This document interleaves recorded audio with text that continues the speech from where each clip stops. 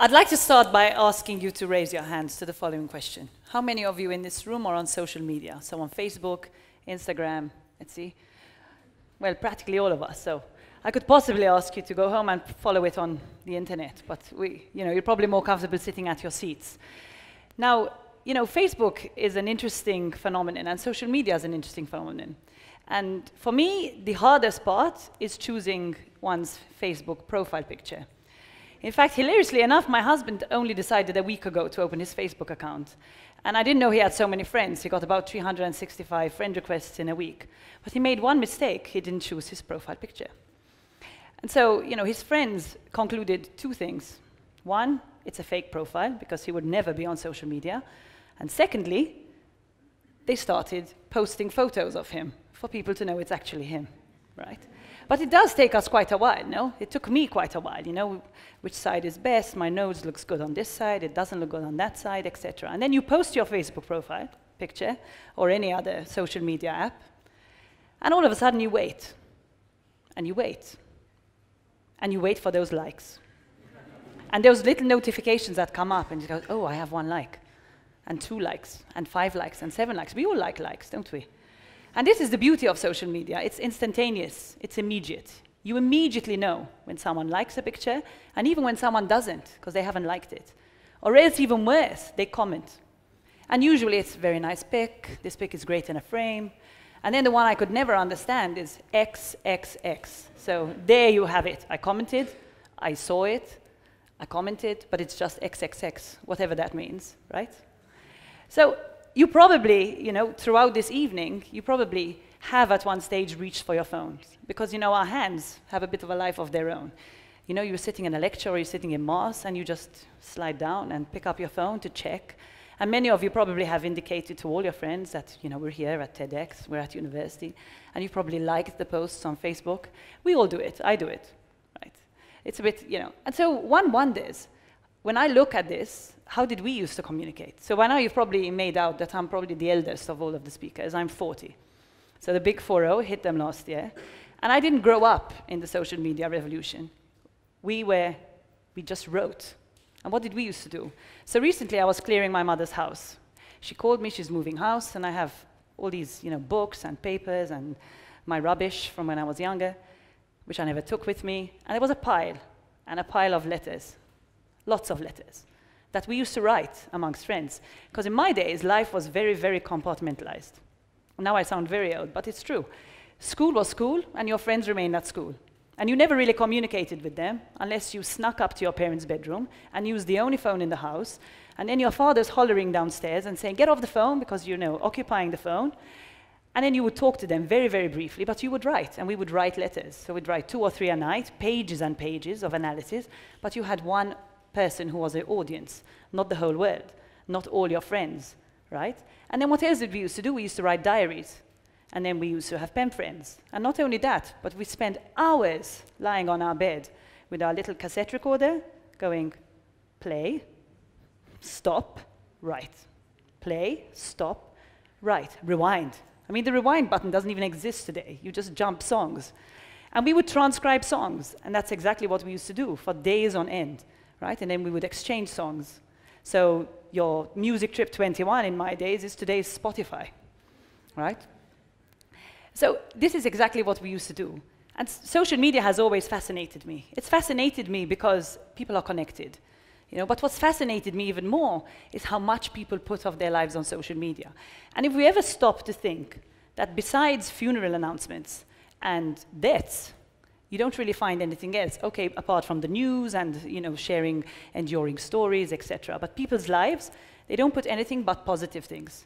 You know, it's how much I love my husband because he got me flowers and how great my kids are. And we've just had Mother's Day and it's I love mom and I love mom and my mom is great, etc. So it's all positive, positive, positive. So I've come to conclude, and I see it all the time, even in my job now as an HR manager, that we're living in a world of validation. It's what I like to call, we're the like generation. And you know, my generation is also the like generation, although we came in a little bit late. Because ironically, the roles of parents and children have kind of flipped. Our children know more about social media than we do. They teach us. So my kids know more about social media than I do, but I have to, in some sense, parent them about social media. It's quite a strange situation to be in. And if you look at work, for example, I meet many of the younger generation, they need constant validation. So when we used to work, we knew we were doing a good job, somehow, because nobody told us we were doing a bad job. But today, the younger generation expect to be told, you're doing a good job, the client said, you know, great, well done, that email was good, the report was fine, right? And so, unfortunately, what happens is that it creates a sense of neediness, a constant need to be liked, a constant need to be told that you're doing good, right? And I, this reminds me of a, a little story. So when I was pregnant with my first child, I visited mother Mothercare one Saturday afternoon, and it was packed. Picked up a couple of baby grows, and I was with my sister who had a young child. And on our way out, this you know, mother with a young two-year-old, and the two-year-old literally threw the mother of all tantrums, shouting, screaming, pulling down clothes, etc. Now, for any mother, that's a practically normal scene, you know, daily, if not you know, weekly, that's fine. But as happens, and not just in Malta, but everywhere, you know, the crowd created a semicircle around the scene, you know, it's like a dogfight. The mother was mortified. She went completely green, didn't know what to do. What does she do? Give in to the child? Well, can you imagine if she gave in to the child? Or leave the child alone? E either way, she was going to get some criticism, right? And my sister turned around to me and said, You know what? Walk away. In a couple of months, you're going to be that mother. And it's true. I was that mother in a few months' time. Because the truth is, no matter how great we think our children are, and no matter how fantastic we would like them to be, they all throw tantrums. And they all answer back. And they're all rude at times. And they're all naughty at times. And you can't really control that, can you? So the biggest issue is, and the reason why I'm telling you this, is because ultimately we're all human. And the humans that we see or perceive to see on social media are just a slice of reality. It's just a snapshot. And you know, even if you go to the most boring party, you can make it look fun on social media. So, you know, for all the FOMOs out there, every time you look at a picture of social media of people really having a great time at a party, the chances are they didn't have as much of a great time as you're thinking. You know, but you can like their picture if you like, because it's the thing to do. They get offended if you don't. And so, really and truly, this is exactly what my message is to you today. That slice of reality that we're pitting ourselves towards is really just a piece of reality. And behind that, we're all 100% human. And we have our highs and we have our lows, we have our disappointments, we have our difficult moments. And those difficult moments, those tantrums, you don't see them on social media. So I'm hardly going to write that my husband really upset me because he forgot my birthday, or he didn't get me the present that I wanted, or that my child is driving me completely nuts and I want to disappear for five days. So I don't hear ma, ma, ma, mommy, ma, ma, ma. You know, because that's what children do.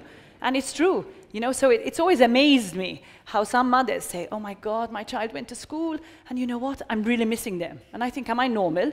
Because actually, I can't wait for them to wake up. And you know, when summer comes, it's like, oh, oh God, three months of absolute hell. Because you know, they're with you all the time, and you have no idea when you're going to get rid of them next. And you're thinking, normal, I mean, that's normal, right?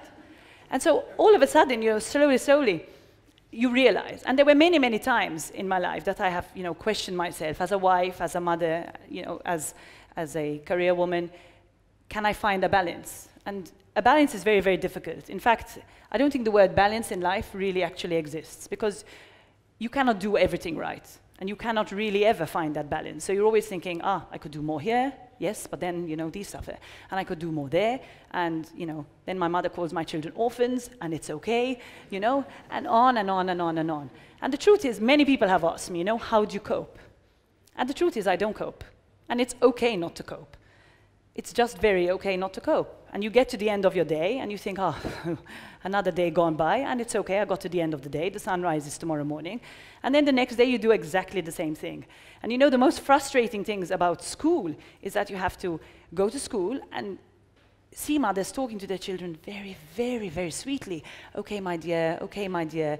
And I'm thinking to myself, is it very normal? Because, you know, after the 20th ma, I want this, and ma, I want that, you just want to scream, you know? So ultimately, this is exactly what social media gives us. It's like we're trying to be people we're not. And maybe it's just subconscious.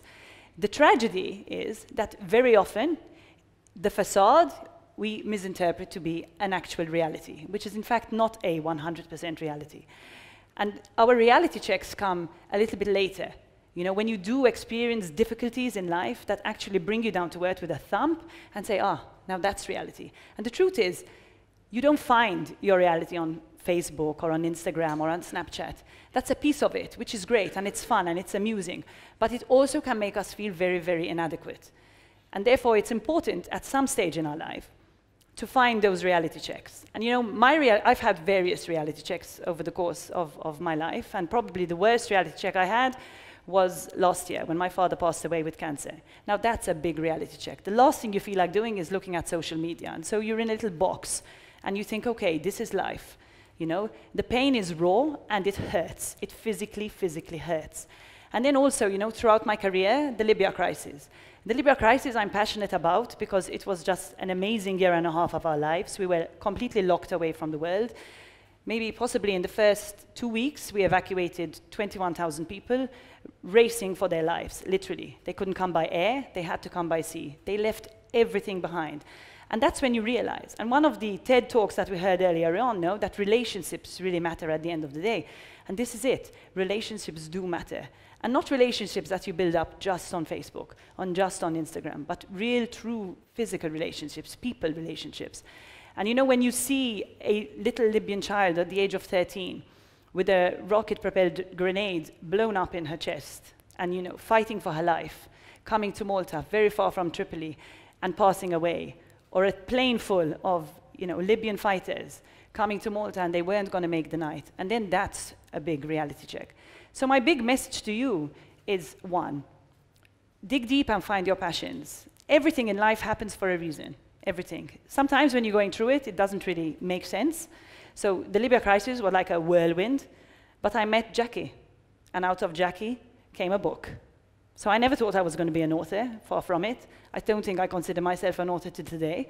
But it just created a story, and that story had to be written. And she asked me to write it, and then I did it. And so, like the speakers before me, you dig deep and find your passions. And yes, enjoy social media, enjoy tagging, enjoy poking fun at people, enjoy commenting, yes? But always remember one thing that ultimately, behind that photo, there's a real human being. And actually, the most important like of your life is your like. The rest will come later. Thank you.